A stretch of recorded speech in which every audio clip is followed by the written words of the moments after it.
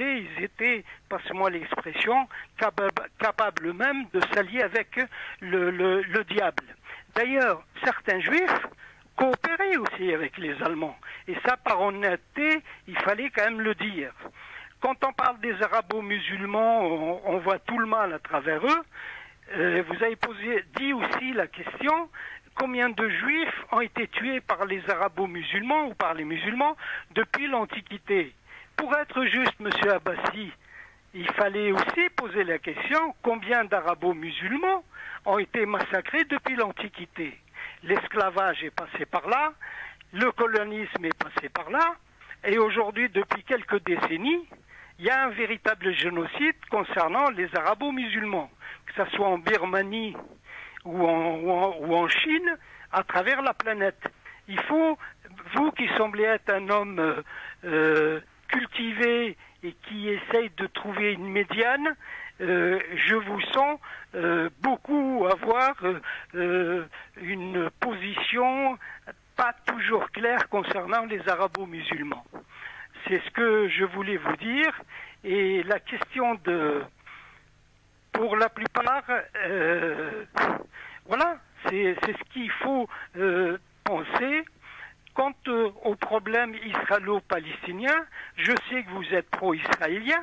Depuis, depuis les années 80, je vous ai entendu, mais vous oubliez que c'est l'un des, conflits qui reste colonial, c'est un fait colonial qui existe depuis, c'est l'un des plus longs conflits qui puisse être. Et pour être juste, il fallait aussi dire vous ne pouvez pas être plus royaliste que le roi, monsieur Abbassi, puisqu'il y a des intellectuels israéliens, des historiens nouveaux, qui reconnaissent qu'il y avait une forme de catastrophe et qu'il y a eu 750 Palestiniens qui ont été boutés du territoire palestinien et 653 villages rasés.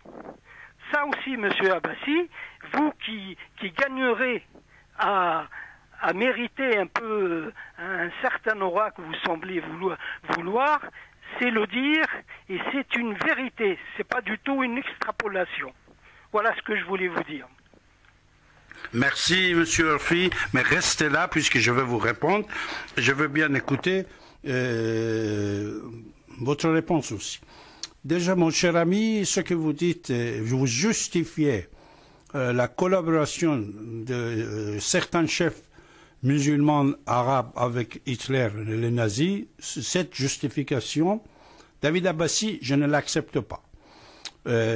si vous me posez la question, je dis, moi, si j'étais à l'époque, j'étais prêt de donner mon sang, donner ma vie, que céder, non, aller vers Hitler et signer des accords avec lui pour libérer mon peuple, soi-disant, comme vous venez de dire, euh, des Britanniques, je ne sais pas quoi.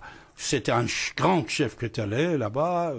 Ça, je n'accepte pas. Deuxièmement, mon cher ami, s'il vous plaît, hein, écoutez bien, hein, ne vous fâchez pas. On est là en train de discuter tranquillement.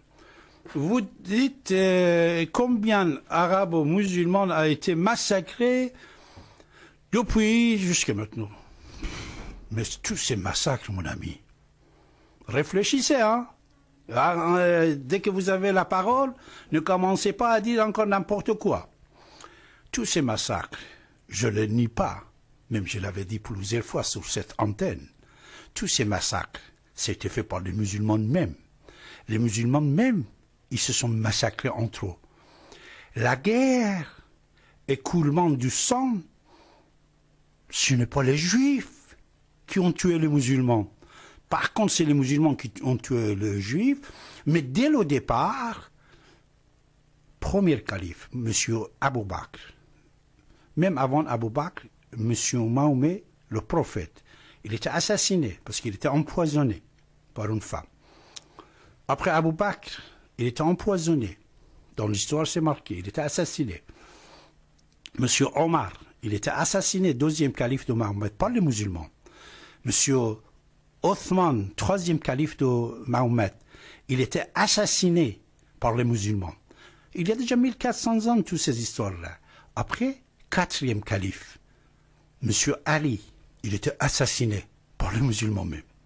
Et après ça, mon cher ami, monsieur Orfi, les massacres, ça continuait. On a coupé en morceaux Jamal Khashoggi il y a déjà deux semaines. Ils ont coupé la tête. La tête de nouveau de monsieur Mahomet, c'est-à-dire son petit-fils, le fils de Fatima. Fatima, c'est qui? C'est la fille de Mahomet. On a coupé la tête de son fils, Hossein. Et pendant dix mois, cette tête était loin de son corps, on l'a ramenée d'Irak vers la Syrie, etc., etc. Même époque, il y avait énormément de massacres. Zaydiyin, Zayd, Zayd, Houthi. On dit Houthi. Houthi, les gens qui sont actuellement en Yémen, en train de faire la guerre, euh, on dit Houthi. Houthiyin, ce sont les descendants de Zayd, encore nouveau de prophète de l'islam. Et ils sont en train de tuer les Arabes de, leur pays, Yémen, et les Arabes d'Arabie Saoudite. La guerre entre les deux, c'est entre la famille. C'est les Arabes qui sont en train de se tuer. Ce n'est pas les Juifs.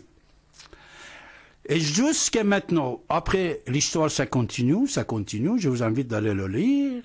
Et toujours, même Daesh, même Taliban, ils ont tué que les musulmans, mon ami. Ils ont tué que les musulmans. En Afghanistan, en Syrie, en Irak. Ils ont tué les musulmans. Cette massacre aussi, je suis d'accord avec vous. Pas de problème. Mais c'est fait par les musulmans même. Ce n'est pas les juifs qui ont massacré euh, les musulmans. Dès le départ, il y a déjà 1400 ans jusqu'à maintenant. Est-ce que vous avez entendu, mon cher monsieur Orphy Je vous invite de répondre, mais sans être nerveux, sans être euh, fâché, avec une sagesse, répondez à cette réponse que David Abbassi a donnée à vos propos, s'il vous plaît. Allô, allô? Oui. Allô? Oui. Oui, monsieur Orphy, est-ce que, monsieur Abbassi, est-ce que je peux répondre? Oui, oui, allez-y, allez-y. Oui, monsieur, euh, monsieur Abbassi, vous avez la, la, fâcheuse habitude de revenir toujours à l'Antiquité alors que vous oubliez qu'on vit le troisième millénaire.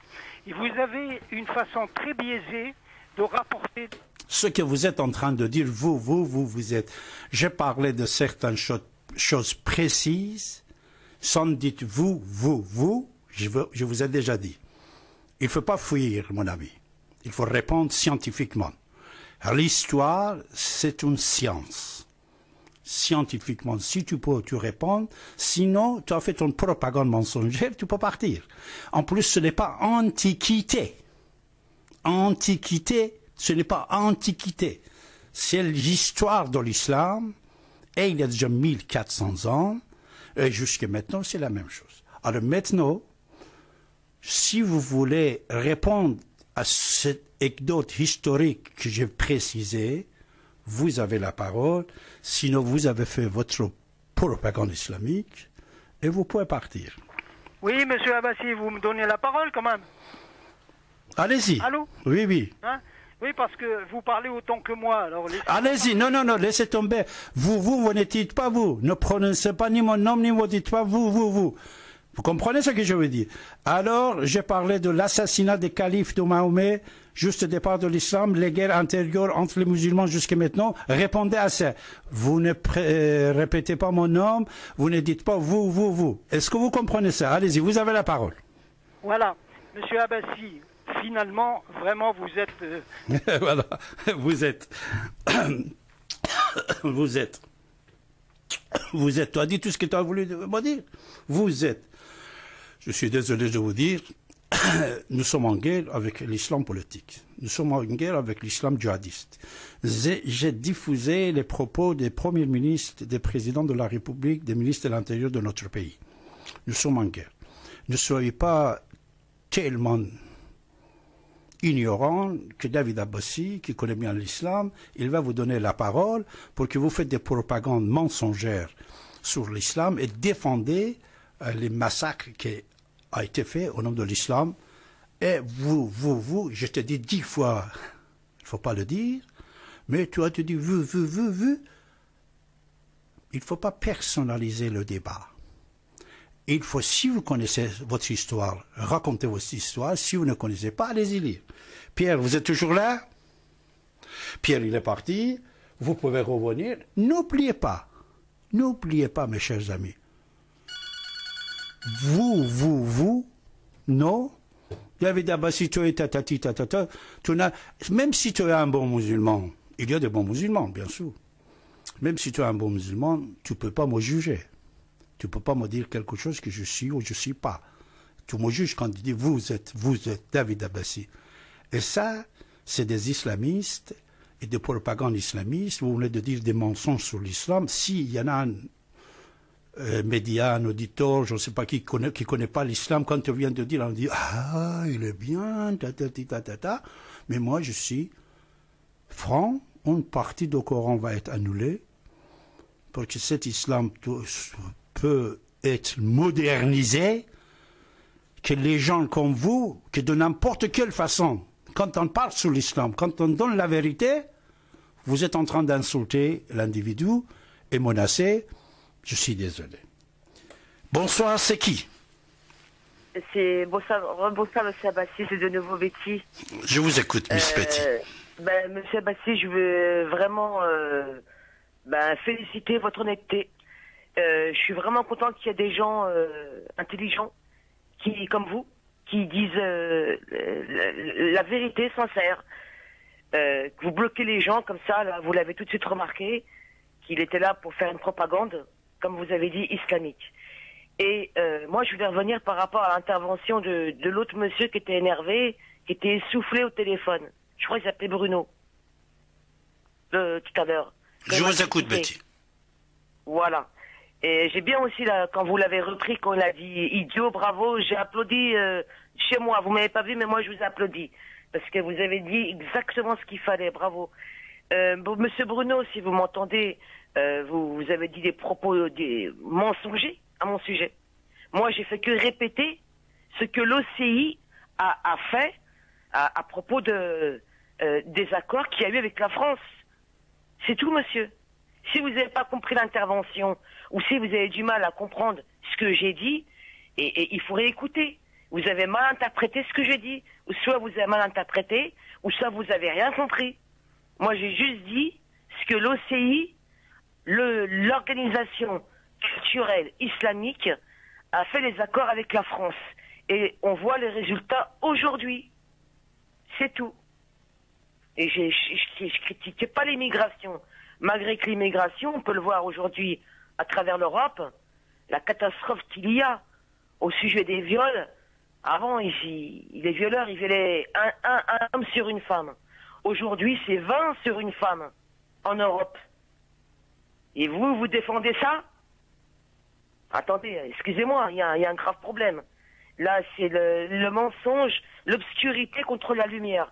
Il y a un combat contre l'obscurité et, la, et la lumière. C'est exactement ça. La vérité contre le mensonge. C'est un combat qui va être très long. Parce que les gens, ils font que mentir et il faut toujours rétablir la vérité. Toujours. Et le, celui qui vous avez répondu à l'instant, il a raconté que des mensonges. C'est un menteur. Monsieur, vous êtes un menteur. Ceux qui étaient à Orphir, Ophir. Ah, vous êtes un gros menteur. Voilà. Et merci encore, monsieur Abbassi, de m'avoir donné la parole. Et bonne continuation. Merci Betty, au revoir. Euh, voilà, c'est la vérité, puisque pendant des années, pendant des années, vous veniez à droite à gauche, même à la télé, même vous étiez médaillé, Légion d'honneur, je ne sais pas quoi. Quand un président, quand un premier ministre ne connaît pas l'islam politique, et il dit n'importe quoi, et euh, il va l'accepter. En face de lui, vous dites n'importe quoi, il accepte. Je vais vous donner un exemple pour enregist- enregistrer ce soir, ici et maintenant. Ça, c'est très important, cet exemple que je vais vous donner.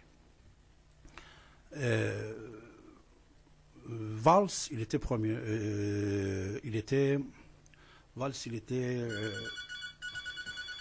ministre de l'Intérieur. Il devient Premier ministre. Euh, quand il est Premier ministre, on était quelque part, il vient dire que euh, le terrorisme, c'est fini en Iran, en République islamique d'Iran. Depuis que, euh, depuis que Khomeini est mort, il n'y a plus de l'État terroriste. Euh, le soir même, je l'ai dit, je l'ai dit, monsieur le Premier ministre, vous vous trompez. Puisque Khomeini est mort il a déjà plus de 20 ans, mais le terror existe en République islamique d'Iran. Même en France, ils ont tué après Khomeini plusieurs personnes. Plusieurs personnes été assassinées ici après Khomeini. C'est quoi cette propos que tu viens de dire? Il a dit non, non, non, non, il est parti. À côté de moi, il y avait un témoin. Là-bas, il était un témoin. Ce témoin était assez important. Ce n'était pas n'importe qui. C'était M. Roger Cockerman. Roger Cockerman était là, et d'autres personnes. Quand le premier ministre français dit ça, j'ai dit, monsieur, vous êtes le premier ministre de cet État, et vous ne comprenez pas ce qui se passe en Iran et même dans notre pays, la France, vous ne le comprenez pas. Alors, il n'a pas compris. Mais après quelque temps, il a compris. Constaté comment il a fait face aux islamistes dans son, ce discours. Il était tellement, tellement, tellement radical. Il a changé d'avis. Mais c'est vrai qu'actuellement, il est en Espagne. Je le souhaite bonne chance en Espagne. Mais c'est vrai qu'après, il a changé d'avis. Après qu'il était informé. Cet exemple, je vous donne pour vous préciser que quand il y a des propagandistes musulmans, ils viennent ici, au lieu de donner la vérité, au lieu de parler scientifiquement de l'histoire et de le Coran et je ne sais pas de quoi, ils attaquent personnellement David Abbassi, ces gens-là ne méritent pas de rester même pas 30 secondes sur cette antenne. Est-ce que vous avez compris, mes amis? l'État français a déclaré, même Valls qui pensait comme ça, il est devenu comme si, comme je viens de vous dire David, et n'oubliez pas que les propos de Valls, nous l'avons. Quand il dit terroriste, c'est fini. J'ai dit, monsieur, il est mort plus de il y a déjà plus de 20 ans, il y a énormément d'assassinats, il y a soutien de terroristes dans le monde, au Liban, en Syrie, en Irak. Qu'est-ce que ça veut dire, cette propos-là? Et vous voyez, les gens après, même quand ils changent d'idée, ils deviennent contre les intégristes. Mais c'est enregistré. C'est enregistré. Combien il a couru, couru derrière Emmanuel euh, Manuel Macron pour qu'il prenne un petit poste. Non, c'est fini. Après, vous venez 250 fois dire, dire, on ne vous croit plus. Alors, euh, nous avons Farid avec nous et Pierre Do. Pierre Do, bonsoir. Oui, c'est encore moi. Je peux parler rapidement avant de raccrocher là? Attends, Farid aussi, il est là, parce que Farid est avant toi. Farid, on vous écoute. D'accord. Allô, bonsoir, bonsoir. Euh,